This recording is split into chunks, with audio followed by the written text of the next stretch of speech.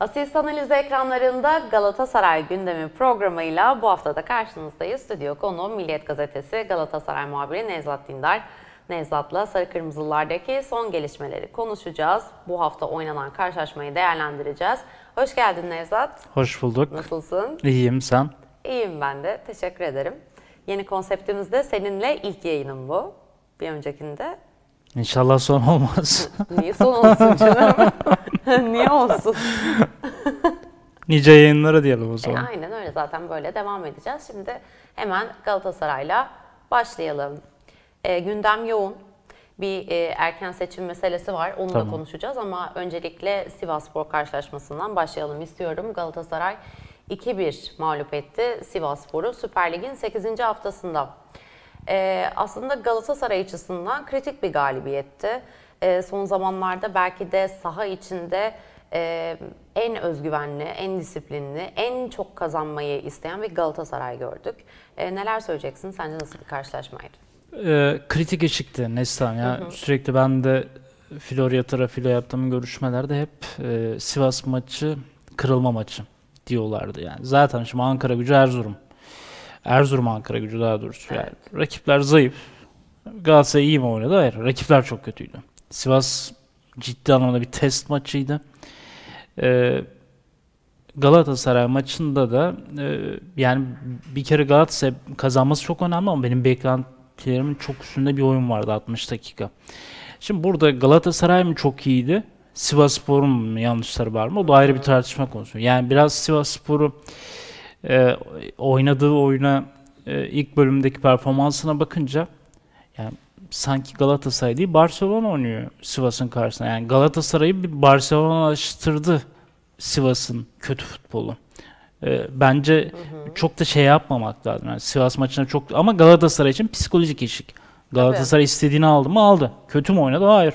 60 dakika iyi oynadı. Ee, ama Galatasaray'ı Barcelona'laştıran bir görüntüdeydi aslında Sivas'ta. Son bölümdeki Sivas'ı maçın başında izleseydik herhalde başka bir şey olurdu. Doğru. Ama Galata Zaten ilk 45 dakika e, Galatasaray'ın 60 ciddi dakika Galatasaray'dı. Evet. 60 dakika iyiydi. Ee, bence e, fikstür de Galatasaray'ın e, önünü açabilecek bir fikstür. Yani çünkü kötü oynayıp kazanma şeyini kullandı. Ha, o büyük takım refleksi. Artı sen şimdi milli aradan çıkacaksın. Yani Sivas o şey öncesi, milli ara öncesi ya, kaybetsem moralim bozulacak. iki hafta geçmez. Şimdi Evet. Fenerbahçe'nin görüyorsunuz iki hafta nasıl geçecek? Geçmiyor. Şimdi milli araya bir galibiyetle girdim hem de böyle bir zor deplasman. Hem moralli giriyorsun hem de hiç tartışmalardan falan uzak kalıyorsun. İki hafta gazeteler eleştirmiyor bir kere. Yani böyle bir gündem de olmuyor. Öyle yani şimdi Doğru. kabul edelim. E, milli ara sonrası bakıyorsun. E, senin fikstürün de iyi. Yani Kayseri'yle oynayacaksın, Rize'yle oynayacaksın, Hatay'la oynayacaksın, Karagümrük'le oynayacaksın, Göztepe'yle oynayacaksın. Yani bu fikstür 5'te 5 yapabilirsin. Yani Galatasaray bu seriyi 8 maça çıkarabilir. 8 maçlık bir seri yapabilir. Yapabilir ama şimdi Galatasaray'da bir de şöyle bir durum oluyor ya Nevzat. e, istikrar problemi yaşıyor. Yani bir hafta çok iyi bir Galatasaray görüyoruz sahada. Ertesi hafta bambaşka bir Galatasaray görüyoruz. Şeyde bir istikrar var ama 3 puanda bir istikrar var. Evet 3 puanda bir istikrar Oyunda var. bir Zaten istikrar yok. Şöyle enteresan bir durum da var ortada. Bunu dünkü programda da söyledim. Ee, sezon başından beri çok iyi giden bir Fenerbahçe. Ee, aksine sorunlarla uğraşan bir Galatasaray ve puan tablosuna baktığımızda şu an bir puan fark gözüküyor Fenerbahçe ve Galatasaray arasında. Bunu neye bağlıyorsun sen? Ee, Galatasaray'ın çok fazla kaos, krizle karşı karşıya. Yani şimdi Fenerbahçe'nin bir anda böyle asistirilen havaya ve Galatasaray'ın yaşadığı problemlere bakınca e, Fenerbahçe şampiyon ilan edilmişti. Ee, Galatasaray ise yerden yere vuruluyordu. Yani Galatasaray da sezona kötü başlamadı aslında. Ama Galatasaray'ın eksikleri var. Galatasaray'ın kadro problemi var. Bence e, Florya, yani Fatih Hoca bazı problemleri çözdü. Özellikle başkanla olan diyaloğun. Ee, yönetimsel anlamda, idari anlamda e, buzların erimesi, Fegül ve Belhanda'nın kazanılması e, bence hem Florya'nın havasını değiştirdi hem Fatih Hoca'yı da tekrar işe daha fazla motive etti. E, ben Galatasaray'ın tekrar e, saha içine odaklandığını, konsantre olduğunu düşünüyorum. Hani Galatasaray e, çok mu iyi? Değil. Eksikleri var mı? Fazlasıyla var yani Galatasaray'ın hala hızlı kenar oyuncusu orta sahada Taylan yeterli mi? Evet yani Fedakarlık yapıyor ama yani daha fazlası gerekiyor. Golcüsü yok. Yani golcü yok ya ortada. Yani o yüzden e, Galatasaray için çok iyimser tahminler için erken ama bu kadar yerden yere vurulan Galatasaray'ın da Fenerbahçe'nin bir puan gerisinde olması Galatasaray'ın farkını gösteriyor. Yani zaten Galatasaray yarışın içerisine bence bu denklemin içerisine şampiyonluk mücadelesinin içerisine bir şekilde girecek. E, ve ikinci yarıda da o devre arası nokta atışı transfer değil de biz bambaşka bir Galatasaray izleriz. Olay bu. Peki şimdi biraz önce de söyledim Belhanda ve Feguli ile ilgili. O noktada e, Belhanda ve Feguli'nin kazanılmasının aslında Galatasaray açısından çok büyük bir önemi var. E, çünkü bu maçta da gördük ki Belhanda gerçekten oyunuyla e, farkını ortaya koyan bir oyuncu. Gerçekten Süper Lig'deki çok büyük yeteneklerden bir tanesi bana da kalırsa. Ya çok ekstrası yok belki ama Evet, ne ama- sen ne, ne de sensiz. Değil mi? Tam- Hep o tam yani. o durum. Hep o. Şimdi Belhanda e, son senesi sözleşmesin. Şimdi Fatih Hoca bence çok doğru bir şey yapıyor. Ya Belhanda e, bir kere adam kendisi oynamak zorunda. Tabii. Yani e, ben sana mecburum diye bir şey yok yani Belhanda. Belhanda Galatasaray'a mecbur. Ya Belhanda bu sene oynamak zorunda ki yeni bir sözleşme yapsın, yeni bir transfer yapsın. Yani pek gerçi İstanbul'dan ayrılmaya niyeti yok ama ya en azından bu seneki performansı belirleyici olacak. Yani sözleşmesinin son senesi. Ben şöyle görüyorum. Ee, Belhanda konusundaki strateji kazan kazan. İki tarafta kazanacak. Belhanda da kazanacak günün sonunda. Galatasaray da kazanacak ama bu şartlarda olmaz. Yani öyle 3.5, 3.7, 3.3 milyon euro olmaz. Daha yaşlanmış, yaşı ilerlemiş bir Belhanda'yla daha uygun, makul şartlarda bir sözleşme yaparsın. Ama bunu yapman için de bir kere Belhanda'nın bir şampiyonluk getirmesi, kendini sahada göstermesi, ispatlaması lazım. Bence bu emarelerini aldık. Yani sinyallerini çok güzel bir şekilde verdi. Gol asisti var Sivas'ta. Ee, Feguli zaten özel bir oyuncu. E, Galatasaray şampiyon olacaksa zaten bu ikiliyle olur. Arda ile olur. İşte Barcelona'sı, Atletico'su olan Arda ile olur. Kaliteli oyuncular sizi bir yere getirir. Galatasaray'ın basat oyuncuları yok. Sen e, Sivas maçında bana şunu gösterdin. Kardeşim ben hedefe kaliteyle giderim, tecrübeyle giderim, yıldızlarla giderim. Bir hafta önceki vasat, vasatlaşan e, işte ne bileyim Ömer'le, işte ne bileyim Emre'yle şununla bununla değil. Yani Galatasaray bir kere şöyle şanslı. e, böyle oyuncuları var, tecrübeli oyuncuları var. Onları motive etmesini bilen tecrübeli bir teknik direktör var ve bence Arda da burada farkını gösteriyor. Yani Arda etkisini e, yavaş yavaş bir e, hissedeceğiz bu takımda. Bu arada Arda demişken Arda'nın e, golden sonra ya, açıklama yaparken e, ağladığını da gördük. E, o da aslında çok duygulandı Galatasaray formasıyla 9 yıl sonra e, bir gol attı. Onunla ilgili neler söyleyeceksin? Arda'nın genel performansı nasıl buldun? Ee, yani sahte bir şey değil. Gerçekten de doğal. Ee, evet belki en zirveleri de görmüş olabilirsiniz hayatta ama en sonunda e, başladığınız yere dönüyorsunuz. Hayat böyle bir şey. Yani e, dolayısıyla Arda da başladığı yere döndü. E, hikayenin başladığı yerdi çünkü burası. O yüzden Tabii. duygusal bir etki tepki oluyor. Çünkü bir ara e, o kapı kapanmıştı. Hatta ben ayağını soktu ifadesini kullanmışım Hı hı, hatırlarsan. hı o el öpmeli bir ayağını soktu demiştim. Hikaye dolayısıyla e, bence devam ediyor. E, Arda da şimdi maç sonrası açıklamalara bakıyorum. Arda'nın duygusallığına bakıyorum. Hiçbir şey e, yani böyle kurmaca şey değil. Hakikaten doğal. Şimdi sen bakıyorsun Belhanda ne diyor maçtan sonra? Diyor ki ya ben diyor attığım gole değil yaptığım asiste seviniyorum. Arda'ya gol attırdım. Evet. Buna seviniyorum diyor. Feguli'ye bakıyorum. Feguli diyor ki Arda saha dışında mükemmel bir lider. Bunu diyen Feguli. Feguli'nin bunu söyleyince Arda'ya yalakalık yapmasını gerektirecek bir durum yok yani. Arda'ya yalakalık yapınca oynuyor diye bir durum da yok. Feguli zaten Feguli'dir yani. Feguli'nin kimseye ihtiyacı yok. Belhanda'nın da kimseye ihtiyacı yok. Ya da maçtan sonra Babel'e bakıyorum. Babel paylaşımda bulunuyor. Bu oyuncuların hepsi çok uluslararası bilinirliği, tecrübesi olan oyuncular. Ee, Arda o yıldızlarla aynı dili konuşabilen bir e, potansiyel. Ya Ömer de bir önceki hafta kaptan da Ömer biraz daha biraz profil olarak düşük kalıyor. Arda'ya o futbolcu saygı duyuyor yani. Barcelona diyor. Atletico diyor. Arda bu anlamda liderlik yapabiliyor. Bence önemli bir eksikliği giderdi. Yani sağ dışında da Zaten Galatasaray'a gelmesinin en büyük sebebi de buydu. Yani onu bekliyordum. Sağ içinde de etkili. Yani güzel gol attı bu arada. Yani böyle sıradan bir gol atmadı. İyi de oynuyor. Yani merkeze gelince Arda e, çok önemli oyun iyi, zekasıyla. sadece kondisyon olarak birazcık düşük kalıyor. Yani ka- düşük kalıyor. Bence şu aşamada zaten konuşuyor seviyede olmasına gerek yok. 40 hafta. Doğru. Arda'dan 5 hafta fayda bile ekstraydı benim için. Şimdi ben çok daha büyük beklenti için ki milli takım bile konuşuluyor. Ee, Arda sağ içinde de etkisi var. Sağ dışında da oyuncularla bu diyaloğu. Bence bu özellikle Feguli olsun, Belhanda olsun. Bunlarla aile toplantıları da yapıyordur mutlaka. Yani çünkü bu oyuncular böyle böyle şeylerden hoşlanıyorlar. Böyle oraya gideyim, eğleneyim sabahlara kadar. Ben bu, bu, bu oyuncuların yaşam tarzı bu olmayabilir. Bir ailece bir a- akşam yemeğine davet edersin. Belhanda ile Feguli'yi. Ne bileyim ona güzel güzel Ee, Türk onlar yemekleri. tam öyle. Heh. Belhanda ve Feguli Ya- tam öyle. Bunları akşam yemeğine davet Ha, edeceksin. Ailece. Babel'i başka bir şeye davet edersin. Aynen. Babel, Babel- farklı. Babel şimdi Arda'nın ailesi var falan. Hani o Babel'le pek olmaz. Olmaz olmaz. Evet, onlar Babel da- davet etmem zaten oraya. Aynen. aynen. Babel başkalarıyla takılsın. E, Babel zaten fazlasıyla takılıyor. Yani o noktada Arda etkili olur. Artı mesela Arda demek ne demek? Florya'da geçen sene mesela ya da önceki dönemlerde e, teknik kadroyla oyuncular arasında bir iletişim problemi vardı. Yani Arda bence o eksikliği de giderebilecek e, düzeyde bir oyuncu. Arda Galatasaray'ın ileride Emre Belezoğlu'su olur demiyorum. Bak asla böyle bir benzetme yapmıyorum. Çünkü Galatasaraylılar zaten hani o benzetmeden de pek hoşlanmazlar. Arda başka bir figür.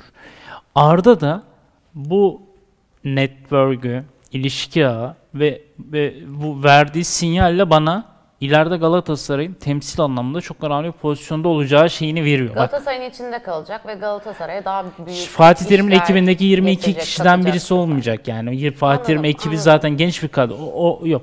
Arda biraz daha farklı bir e, pozisyonda olur. Yani sportif Yani- direktör olur. Şimdi Yani- Fenerbahçe'nin Emre Belezoğlu'su olmaz diyoruz ama aslında Galata- söylediğimiz şey birazcık daha oraya geliyor. Ya Yani Ga- Galatasaray'ın Galatasaray'ın Arda. Turan. Galatasaray'ın Arda Turan. Peki, tamam öyle söyleyelim. Ee, bu arada şöyle bir durum da var şimdi Galatasaray'da. Ciddi anlamda bir forvet sıkıntısı yaşanıyor Nevzat. Evet. Ee, Falcao hala istenilen performansı veremedi. Ee, onun haricinde Cagne var. Cagne'den de yine istediği verimi alamıyor Galatasaray. Bu sorun nasıl giderilecek? Bir de Olcan vardı. Gerçi başkan neden Olcan oynamıyor dedi ama 2 dakikada ben Olcan hazır olmadığını anladım. Yani 2 dakika oynadı. Olcan ben hazır değilim mesajını verdi. Maalesef. E, Cagne bu yoklukta e, Falcao bile yokken oynamıyorsa e, geçmiş olsun. Yani Cagne zaten e, umutsuz e, vakaydı. Daha da umutsuz e, vaka haline dönüştü. Umutlu olduğun dönemler vardı senin. E, vardı da herkes umutluydu. Yani ne yapalım? E, hayat bu yanılabiliyorsun. Aynen, E, ama yani Nefçi maçındaki goller demek ki referans alınmayacak. Yani o, o gollere bakmayacaksın. E, Falcao konusunda ben az önce o yıldızlardan bahsederken Falcao'nun da e, kazanılmaya çalışacağını düşünüyorum. Ama e, devre arasına kadar böyle giderse hani Falcao e, işte e, bir hafta oyna iki hafta sakat e, sadece penaltı at şeklinde bir çizgide giderse e, devre arasında Falcao gündemi Galatasaray'ın ana gündem maddesi olur. Yani Cagney'i falan konuşmayız. Falcao'yu konuşuruz. Çünkü e, hem maliyeti yüksek hem katkısı çok sınırlı e, olan ve sürekli sakatlık problemi yaşayan bir Falcao tartışılır. E, hem Falcao da istenmiyorsa ona mobbing uygulamaya gerek yok. Zaten istenmediğinin farkına varabilir. İki tane taraftarın atacağı mesaj bile onu etkiler. O yüzden Falcao devre arası yani bu istikrarsızlık, verimsizlik süreci devam ederse bence ana gündem maddesi olur ki onun da bir MLS yani Amerika'ya transferi gündeme gelebilir. Bu Galatasaray'ın forvet transferi yapması anlamına gelecek. Ee, şampiyonluk yarışında iddialı olmak istiyorsanız e, mutlaka sağlam, güvenilir bir golcüyle yola çıkmanız lazım yani. Çünkü Cagney ile olmuyor. E, Oğulcan e, o seviyede değil. Falcao bir var bir yok. E, Dolayısıyla yani pozisyon olarak sen e, kanat forvete yani sol kenara ve orta sahaya odaklanmışken e, bir anda bir numaralı gündem maddesi golcü haline gelebilir. Tam o konuya girmişken o zaman bugün çıkan bir iddia vardı. Onu sana sormak istiyorum. Ee, Sörloth konusu. Ee, Leipzig'te istenilen performansı yine veremeyen e, bir oyuncu ki geçtiğimiz sezon Trabzonspor'da harikalar yarattı. Ee, Galatasaray'a gelebileceğine dair iddialar var. Ee, Sörloth gelsin ister misin? Sörloth herkes ister. Sörloth e, bir ligde dengeleri değiştirecek. Bizim ligimizde dengeleri değiştirir. Yani hiçbir Galatasaray'ın da hayır diyeceğini düşünmüyorum ama sözleşmesine çok e, hakim olmak lazım. Yani o kadar kolay bir transfer gibi gözükmüyor. E, ama Galatasaray e, tarafında büyük bir heyecan uyandırır. E, ben açıkçası yine İtalya'da sıfır çeken şu an itibariyle Vedat'ın da bir süre sonra gene Galatasaray için konuşulacağını düşünüyorum. Çünkü Fatih Hoca'nın sevdiği profilde oyuncular bunlar. Mücadeleci, e, arkasındaki oyuncuları rahatlatan, önünü açan, mücadeleci. Yani çok fazla skoruna bakmaz ama en azından mücadelesiyle zaten Galatasaray'da o işleri yapacak oyuncular var. Yani Galatasaray'ı gördüm. Sivas'ta Barcelona gibiydi bir süre. Yani oyunu izlerken ö, golcü olarak kim vardı yoktu. Ortada en merkezde santrfor dediğin adam sağda solda dolaşıyordu. Yani en azından geziniyordu. Babel'den bahsediyorum. O yüzden e, hedefe gidecekseniz iyi bir golcünüzün olması lazım. Bu e, Leipzig'ten Sörloth da olabilir. İleride e, Lazio'dan Vedat da olabilir. Bunların konuşulması son derece doğal. Ama Galatasaray'ın en temel problemi bir kere Falcao'nun ne olacağını e, sonuçlanması e, artık onun belirlenmesi lazım. Çünkü Falcao sürekli bir sakatlık problemi olacaksa tartışılacaktır ya da başka problemler olacaksa e, dediğim gibi Şu e, çok enteresan değil mi Nevzat? Yani Falcao olan bir takımda e, şunu söylüyoruz. E, Galatasaray'ın iyi bir forvete ihtiyacı var şu anda. Hani en azından gol atabilecek ve takımı yukarıya taşıyabilecek bir forvete ihtiyacı var. Ve bu takımın forveti Falcao. Ama işte e, yıldızlar, generaller e, olmuyor yani. Bazen sizi hedefe figüranlar götürür. Tabii. E, yani bu bu şey yapmamak lazım. Yani Falka yani ön tarafa baktığında Galatasaray'ın çok kaliteli oyuncuları var. Tecrübeli, e, belli bir olgunluğa erişmiş işte Falcao'su, Fegüli'si, Belhanda'sı, Arda'sı. Ya Oraya daha genç, dinamik, e, yani şimdi arkadaki üçlüyü biraz daha hani yükünü hafifletecek bir oyuncu aslında daha tercih edilebilir. Ama iyi bir Falcao'yu zaten hiçbirine değişmezsin. Yani iyi bir Falcao, Sörloth artı çarpı e, Vedat Muriç eşittir Falcao. Yani Falcao, iyi bir Falcao'dan bahsediyorum. Tabii. Ama iyi bir Falcao dediğin gibi. Peki e, transferlerle devam edelim Nevzat o zaman. Şimdi e, Onyekuru ve Seri isimleri zaten var Fatih Terim'in listesinde Ocak ayı için. Onun haricinde e, Ali Akman ismi yine e, oldukça gündemde olan bir isim. Fenerbahçe ile de adı anılmıştı ama Galatasaray'a gelecek gibi duruyor. Oldukça da iyi performans gösteriyor.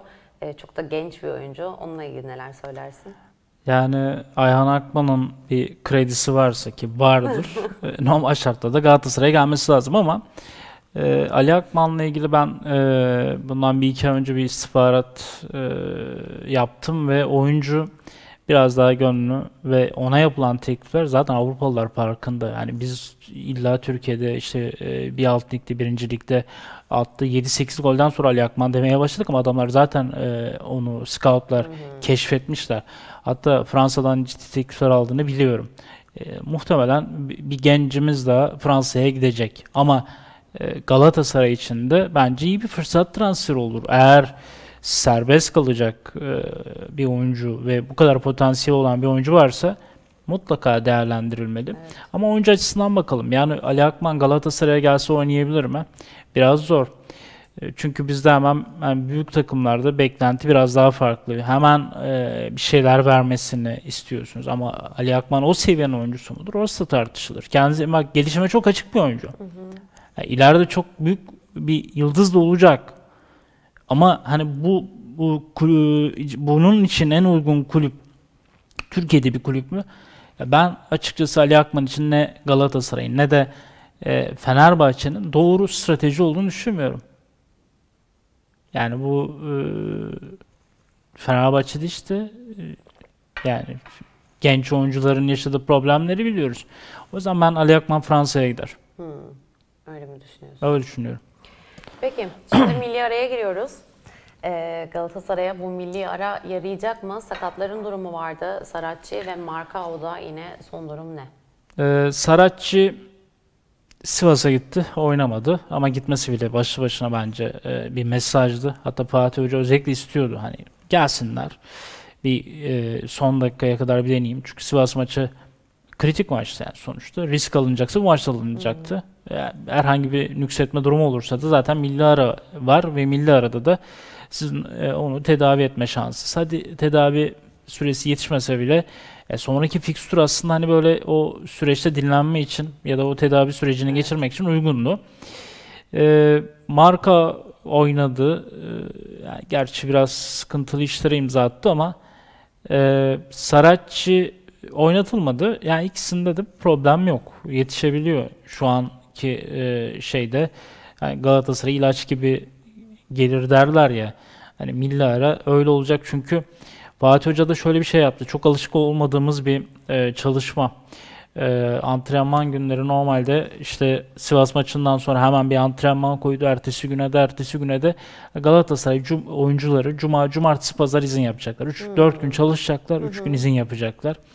E, Falcao'da herhangi bir problem gözükmüyor.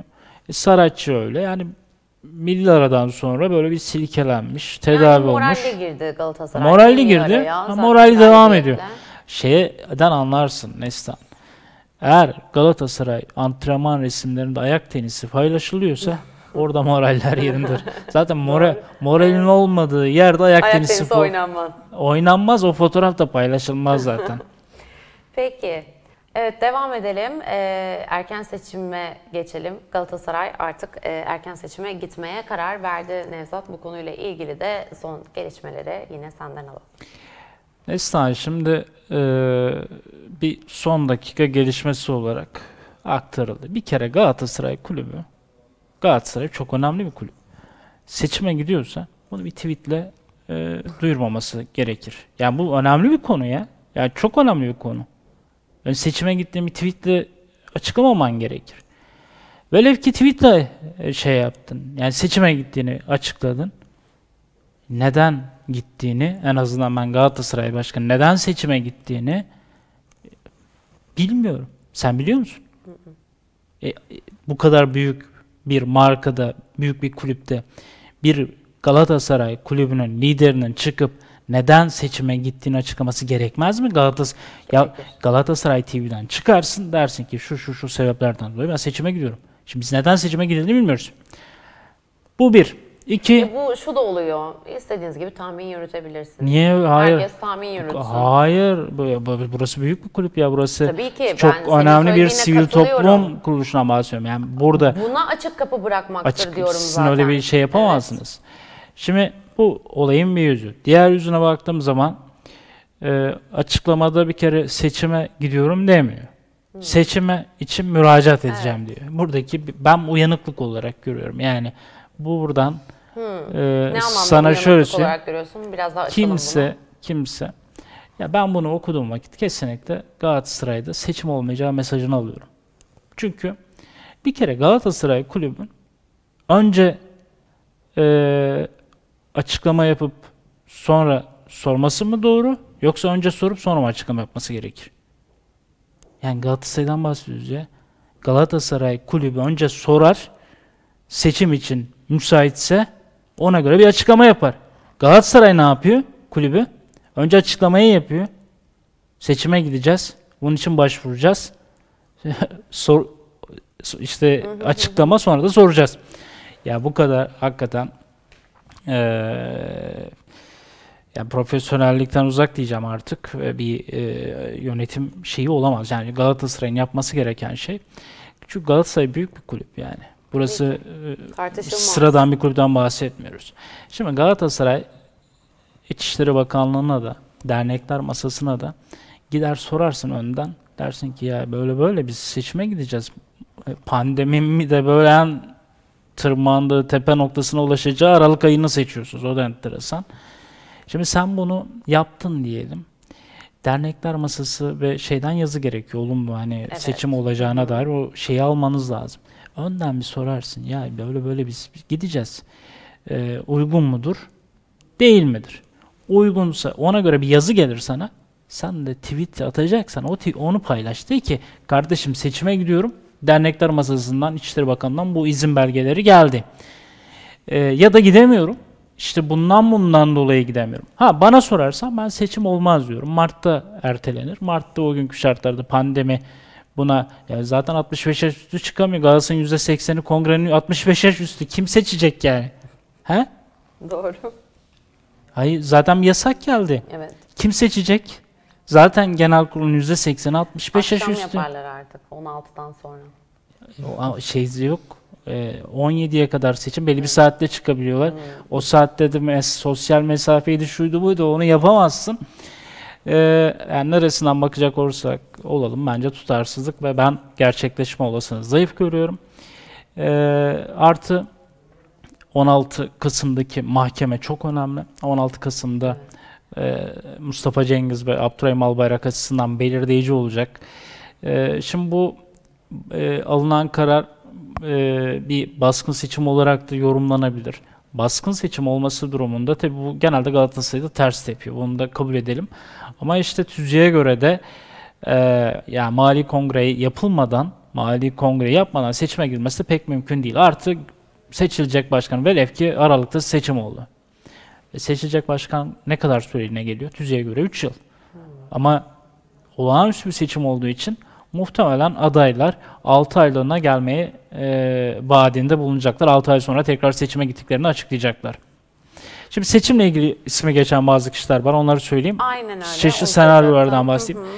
Şimdi e, bir kere bu açıklama kulübün resmi Twitter hesabında paylaşıldıktan sonraki ilk tepkiler Burak Elmas ve Metin Öztürk'ten e, biz hazırız şeklinde bir paylaşımlar geldi. Yani hem Metin Öztürk, Sayın Öztürk hem de Burak Elmas e, seçime hazır olduklarını söyler. Ben bunu yadırgamıyorum. Bence doğru. Yani açıklama, seçim kararı fake mi, değil mi bilmiyoruz.